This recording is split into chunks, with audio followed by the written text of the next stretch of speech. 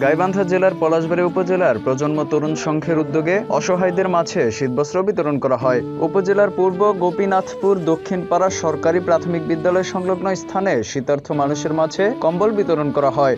উক্ত সংগঠনের প্রতিষ্ঠাতা পরিচালক আল আমিন মন্ডল আলিফের সভাপতিত্বে বক্তব্য রাখেন সংগঠনের সভাপতি মোহাম্মদ নাসিম।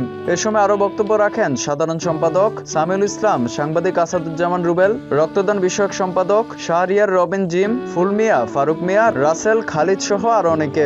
এ সময় আরও উপস্থিত ছিলেন এলাকার গণ্যমান্য ব্যক্তিবর্গ। বক্তারা আলোচনায় বলেন, সংগঠনের পক্ষ থেকে এলাকার গরিব, দুস্থ ও অসহায় মানুষের চিকিৎসা ব্যবস্থা, শীত মৌসুমে শীতার্থ মানুষের পাশে দাঁড়ানো, মাদ্রাসা কোরআন শরীফ বিতরণ প্রতিবন্ধীদের হুইল চেয়ার দেওয়া হলো। পরিশেষে শীতার্থ মানুষের পাশে দাঁড়ানোর জন্য সবার প্রতি আহ্বান জানান। এ সময় তিনশত দুস্থ অসহায় মানুষের মাঝে শীতবস্ত্র তুলে দেওয়া হয়। সমগ্র অনুষ্ঠানটি পরিচালনা করেন স্বেচ্ছাসেবক Mohammad Bulbul Ahmed.